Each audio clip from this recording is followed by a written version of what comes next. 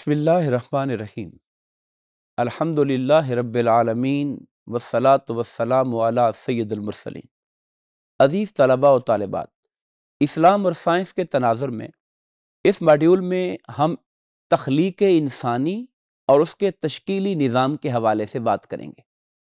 इससे पहले के मॉड्यूल्स में हम कायनात की तख्लीक पर बात कर चुके और कायनात की जो वसत पजीरी है एक्सपेंडिंग है, उस पर हम बात कर चुके इस मॉड्यूल में हमारी बात कायनात के बारे में नहीं, बल्कि इंसान के बारे में होगी। खुद इंसान की तख्लीक का जब मुताला किया गया और इंसान ने अपनी साइंसी तशरीहत की रोशनी में और जदीद तर तहकीकात की रोशनी में इंसान का जो आगाज़ है, इंसान का जो तख्लीक का जो इरतका है उस हवाले से स्टडी किया गया तो ये बात साबित हुई कि कुरान मजीद ने जिन तालीमत का ज़िक्र आज से चौदह सौ साल पहले किया, इंसानियत तवील सफ़र करके उसी नतीजे पर पहुँची है, जो बात खाले के कायनात ने अपनी किताब में बयान फरमा दी थी। तख्लीक इंसानी के दो पहलू हैं। एक उसका कीमियाई इरतका है, जिसे केमिकल एवोल्यूशन कहते हैं। और तख्लीक इंसानी का जो दूसरा पहलू है वो उसका हयातियाती इर्तिका है, जिसे बायोलॉजिकल एवोल्यूशन कहते हैं। हम पहले केमिकल एवोल्यूशन से बात करेंगे, यानी तख्लीक इंसानी का जो कीमियाई इर्तिका है, अल्लाह पाक ने कुरान मजीद के मुख्तलिफ़ मकाम पर सात चीज़ों का ज़िक्र किया। मैं आपके सामने तरतीब से वो कुरानी आयात रखूँगा।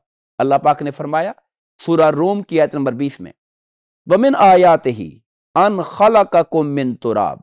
अल्लाह की निशानियों में से है कि उसने तुम्हें मट्टी से पैदा किया। यहाँ पर इंसान की कीमियाई तखलीक का जो पहला प्रोसेस है या पहला मरहला है, उसको मट्टी से ताबीर किया। उसके बाद फरमाया, सूरल अंबिया, आयत नंबर तीस, वजालना मिनल माए कुल्ल शई इन हमने हर ज़िंदा शय को पानी के साथ पैदा फरमाया। तो चूँकि इंसान भी ज़िंदगी रखने वाला है, इसलिए इंसान की तखलीक के पीछे भी पानी का ताल्लुक है। आप इस तरतीब को अगर देखेंगे तो इस, यहाँ से वाज तौर पर महसूस हो जाएगा कि असल में ये उस कीमियाई तखलीक का इरतकाई प्रोसेस है, जिसका बयान कुरान मजीद मुख्तलिफ़ मकाम पे कर रहा है। पहले मट्टी का ज़िक्र किया, फिर पानी का ज़िक्र किया। सूरा अल की आयत नंबर दो में फरमाया, हुवल्लजी खाला का तीन। वो अल्लाह है जिसने तुम्हें गारे से पैदा किया। गारा क्या होता है? पानी और मट्टी को जब मिक्स किया जाए तो वो गारा बन जाता है। सूरा साफात की आयत नंबर 11 में फरमाया, इन्ना खलक ना मिन तीन लाजिब। बेशक हमने इन्हें, यानी इंसानों को चिपकने वाले गारे से पैदा किया। गारा जब पानी मट्टी को शुरू में मिलाया जाए तो गारा हो जाता है। उस गारे पर कुछ प्रोसेस किया जाए, कुछ टाइम उसको दिया जाए, वक्त गुजरता है तो उसके अंदर चिपकाहट पैदा हो जाती है।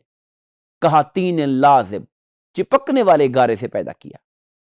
फिर उसके बाद सूरा हिजर की आयत नंबर 26 में फरमाया, वलकद खलक नल इंसान मिन सलसाल मिन हमाइम मसनून।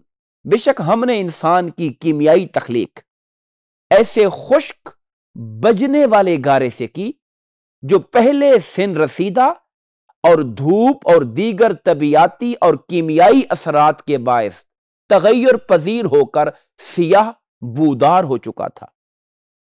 पानी मट्टी से गारा, गारे से चिपकता हुआ गारा और फिर उसके बाद मजीद जो कीमियाई तामुलात हुए, उसके ऊपर जो केमिकल एवोल्यूशन हुआ, उसके नतीजे के अंदर फरमाया कि वो खुश्क बजने वाला गारा जो पुराना हो चुका था और बूदार हो चुका था, उससे इंसान की कीमियाई तखलीक का आगाज़ हुआ। सूरा रहमान की आयत नंबर चौदह में अल्लाह पाक ने इसी प्रोसेस का अगले मरहले का ज़िक्र किया। फरमाया, खलकल इंसान मिन सलसालिन कल फखार। उस अल्लाह ने इंसान को ठीकरी की तरह बजने वाली जो मट्टी है, उससे पैदा फरमाया। ज़ाहिर है कि वही जो प्रोसीजर चल रहा है उस पर जब मजीद वक्त गुजरा तो जैसे चीज़ पक कर घड़ा या कोई और चीज़ ठीकरी की तरह बजना शुरू हो जाती है तो कहा बजने, ठीकरी की तरह बजने वाली मट्टी से हमने उसको पैदा किया। सूर मोमिनून की आयत नंबर बारह में फरमाया, वलकद खलक इंसान मिन सुलालत मिन तीन। बेशक हमने इंसान की तखलीक की इब्तदा मट्टी के कीमियाई अज्जा के खुलासे से फरमाई। मट्टी के कीमियाई अज्जा का जो खुलासा नचोड़ था उसका उसका जो एब्स्ट्रैक्ट था, उससे हमने इंसान को पैदा किया। अगर अकल इंसानी के साथ इस पर गौर किया जाए तो मालूम होता है, ये वही पानी और मट्टी के मिलाप के साथ चलने वाले गारे की मुख्तलिफ़ शक्लें हैं, जो वक्त के साथ साथ मजीद प्यूरिफाई होती चली गई और आखिरकार पहला जो वजूद इंसानी था आदम का, उसकी तखलीक इस अमल में आई। जो दूसरा पहलू है जिसे हम कहते हैं कि इंसान की तखलीक का हयातियाती इरतका बायोलॉजिकल इसके बारे में कुरान मजीद की सूर अलमोमिनून की आयत नंबर 12 से 14 पर खाले के कायनात ने रोशनी डाली। इरशाद फरमाया, सुम्मा खलक न नुतफत अला का फिर हमने उस नुतफे को रहम मादर के अंदर जौक की सूरत में मुअल्लक वजूद बनाया। फखलक नल का तमुदगतन फिर उस मुअल्लक वजूद को एक ऐसा लोथड़ा बना दिया, जो दांतों से चबाया हुआ लगता है। फखलक नल मुदगता इजामन, फिर हमने उस लोथड़े से हड्डियों का ढांचा बनाया।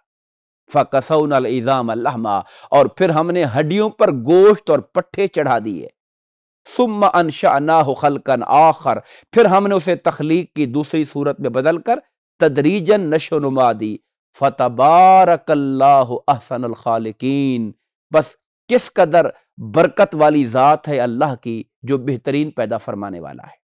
ये जो प्रोसीजर रहम मादर के अंदर अल्लाह पाक ने नुतफे से अलाका अलाका से मुदगा मुदगा से फिर उसके अंदर हड्डियों का ढांचा, हड्डियों के ढांचे पर गोश्त और पट्ठों का पैदा किया जाना और फिर इंसान की शक्ल देना। इंसान अपने तमाम तर सफ़र के बाद जिस नतीजे पर मशीनी मामलात, मुशाहदात के ज़रिए पहुँचा है खाल के कायनात आज से 1400 साल पहले उस बारे में हमें वाज तौर पे बता रहा है क्योंकि वो खुद ही मुसविर है। ये तस्वीर उसी ने बनाई है और इस तखलीक के सारे प्रोसेस उसी के हुक्म से सर अंजाम दिए जा रहे हैं। कनाडा के एक बहुत बड़े जीनियात के जो माहिर थे और तशरी इल्म तशरी आज़ा, के इंसानी वजूद कैसे बना और आज़ा कैसे बने, इसके बहुत बड़े एक्सपर्ट जिसका, जिनका नाम डॉक्टर कैथमोर था। उनसे ममताज यमनी आलम, शेख अब्दुल मजीद नदानी ने मुलाकात की। और कुरान मजीद की ये आयात, जिनके अंदर अल्लाह पाक ने इंसानी वजूद के रहम मादर के अंदर तश्कील पाने के प्रोसेस का ज़िक्र किया, उनके सामने रखी और उस पर उनकी राय ली। उस गैर मुस्लिम प्रोफेसर ने, जो कि अपने शोबे का एक्सपर्ट था, उसने तमाम आयात का मुताला करने के बाद अपनी यह राय दी कि जितनी मालूम कुरान हदीस से हासिल हुई हैं, वो जदीद साइंसी तहकीक एन उसके मुताबिक है और उसमें कहीं पर कोई तजाद नहीं पाया जाता। उन्होंने फिर बाद में तीन सफ़े पर मुश्तकिल, मुश्तमिल एक आर्टिकल लिखा, जिसके अंदर कुरान मजीद की हकानियत और साइंस की आजजी का इजहार किया मैं उसका एक पैरा आपके सामने रखना चाहता हूँ। डॉक्टर कैथमोर ने लिखा, statements referring to human reproduction and development are scattered throughout the Quran. It is only recently that the scientific meaning of some of these verses has been appreciated fully. This interpretation of the verses in the Quran referring to human development would not have been possible in the seventh century.